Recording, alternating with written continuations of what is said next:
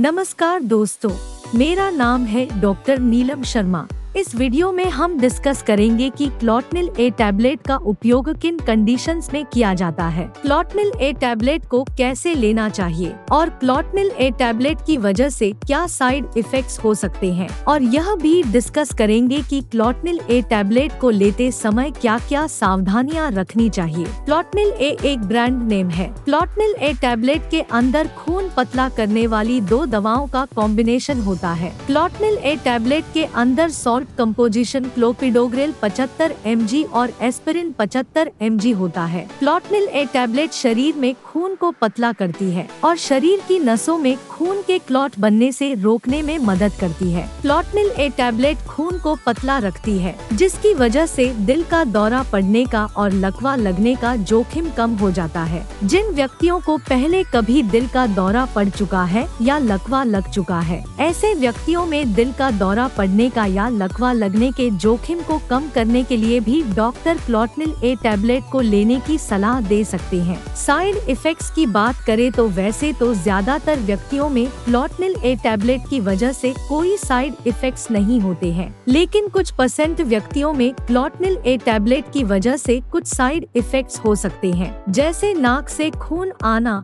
दस्त होना, बदहजमी होना, सीने में जलन होना सिरदर्द होना और पेट में दर्द होना आदि side effects Clotnil A tablet की वजह से हो सकते हैं। क्लॉटनिल ए टैबलेट खून को पतला करती है, जिसकी वजह से कोई चोट लगने के बाद अधिक खून बहने का जोखिम अधिक हो जाता है। अगर आप क्लॉटनिल ए टैबलेट को ले रहे हैं और अगर आपको ज़्यादा चोट लग गई है तो आपको तुरंत ही नजदीकी हॉस्पिटल में जाना चाहिए, ताकि अधिक ब्लीडिंग होने के जोखिम को कम किया जा सके। अब हम डिस्कस करेंगे कि प्लॉटनिल ए टैबलेट को कैसे लेना रिकमेंडेड होता है? प्लॉटनिल ए टैबलेट को खाना खाने के बाद लेना रिकमेंडेड होता है। आमतौर पर 18 साल से अधिक उम्र के ज़्यादातर व्यक्तियों को डॉक्टर क्लॉटनिल ए टैबलेट को दिन में एक ही बार लेने की सलाह देते हैं। क्लॉटनिल ए टैबलेट को हर रोज एक निर्धारित समय पर लेना रिकमेंडेड होता है। क्लॉटनिल ए टैबलेट की डोज उम्र, शरीर के वज़न और बीमारी की गंभीरता के आधार पर कुछ व्यक्तियों में इससे अलग भी हो सकती है। इसलिए आपको क्लॉटनिल ए टैबलेट को आपके डॉक्टर द्वारा बताई गई डोज में ही लेना चाहिए।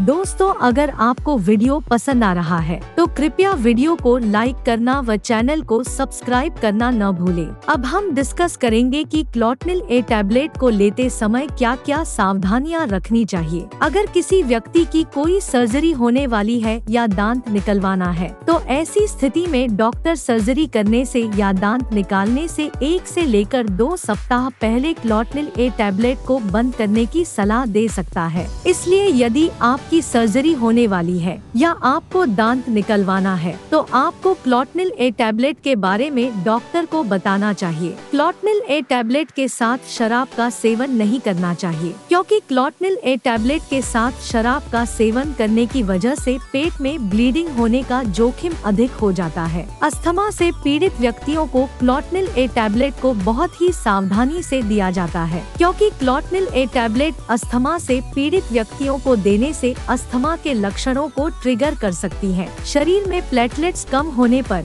पेट में अल्सर होने पर, पेट में ब्लीडिंग की समस्या होने पर, हीमोफीलिया होने पर ब्रेन हेमरेज होने पर और लिवर या किडनी की कोई गंभीर बीमारी होने पर क्लॉटनिल ए टैबलेट को लेना रिकमेंडेड नहीं होता है। इसलिए इन कंडीशंस में डॉक्टर की सलाह के बिना क्लॉटनिल ए टैबलेट को नहीं लेना चाहिए। पेट में गैस और एसिडिटी को कम करने के लिए उपयोग की जाने वाली प्रोटोन पंप इनहिबिटर्स दवाइयाँ जैसे इसोमेप्राजोल ओमेप्राजोल पैटोप्राजोल और रेबिप्राजोल आदि दवाओं के साथ क्लॉटनिल ए टैबलेट को लेना रिकमेंडेड नहीं होता है। इसके अलावा दर्द को कम करने के लिए उपयोग की जाने वाली नॉन स्टेरॉयडल एंटी इंफ्लेमेटरी दवाइयाँ जैसे एसिक्लोफनेक डाइक्लोफनेक आइबुप्रोफेन और निम्सुलाइड आदि दवाओं के साथ भी क्लॉटनिल ए टैबलेट को लेना रिकमेंडेड नहीं होता है। अभी इसके बारे में पर्याप्त डेटा अवेलेबल नहीं है कि क्लॉटनिल ए टैबलेट प्रेग्नेंट महिलाओं को नुकसान पहुंचाती है